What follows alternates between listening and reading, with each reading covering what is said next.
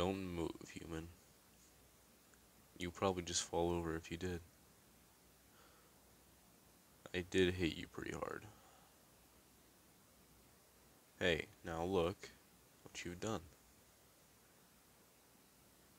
You've fallen over and hurt yourself even more. I swear. Are all humans this stupid? I clearly said, don't move. You will probably just fall over. Could I be any clearer? Where are you? You're in my home, among my people, in our village. So even if you did manage to slip past me and get through the door, you would have been brought back to me immediately by someone else. Why would you be brought back to me specifically? Oh. Your kind does not know a lot about us, do you? Hmm.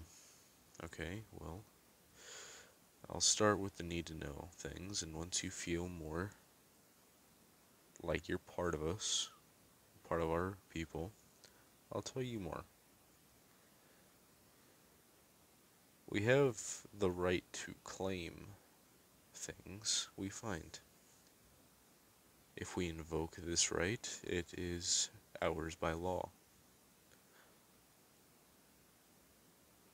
What do you mean? It's like dibs? I'm I'm not familiar with this dibs. Anyway, I claimed you, so by law, the rest of the village has to bring you back to me. Your group.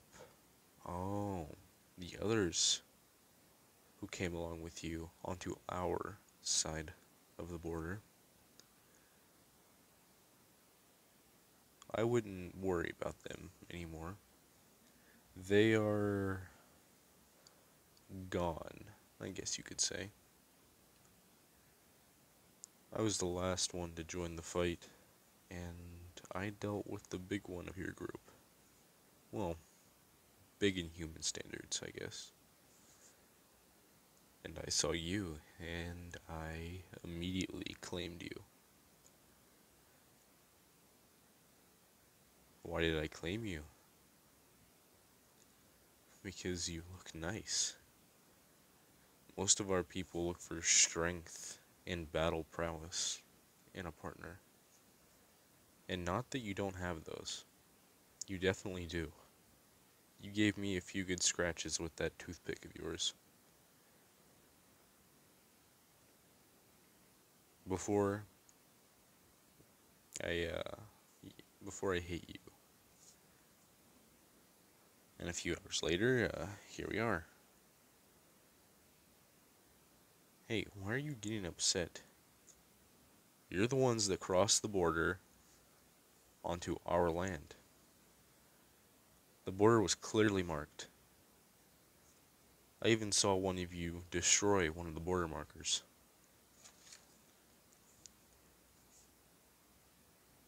You were only a mile from our village when the scout spotted you. We gave you an honorable death. Your people would have been much crueler. They would have taken us alive, put us in chains, starved us, and forced us to die an honorless death. If you try to run, I will hit you again. So, tell me about yourself. Do you come from a, I guess, prominent family? No.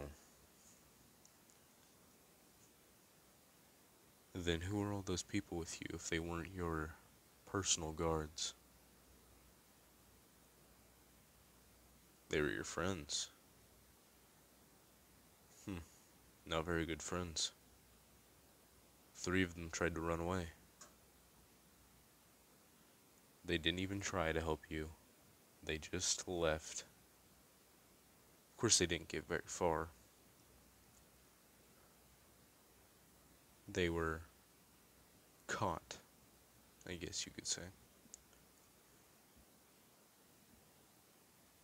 But that's that, none of that matters now. You're among your new family, among us. You will be one of us eventually.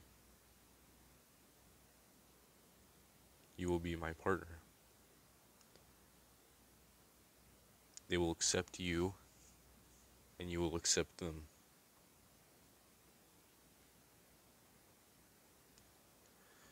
You'll come around to it. I know you will. You will be mine for all of time. Okay, little pup. Just.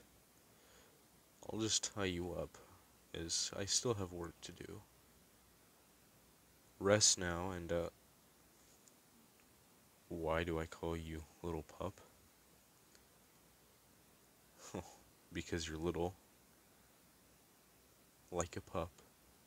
However, you are brave, strong like a wolf. If you were weak and fragile, I would have called you Little Fawn. But you're not weak.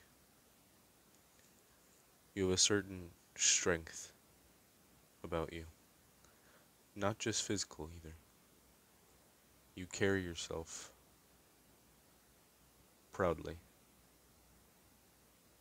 I think that's why I noticed you in the first place. Just by how you carried yourself in battle. You were confident in what you were doing. Well, that little toothpick you were carrying wouldn't have done much to us anyway, besides give us a few scratches. You were confident in the fact that you could beat us. Even though you couldn't. But you were confident in it. And I like that about you. However, if you try to do that again, I might just have to hit you harder next time.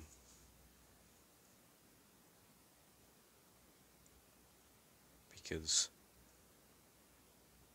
I love you. You will be mine. And that's final. By all of our laws,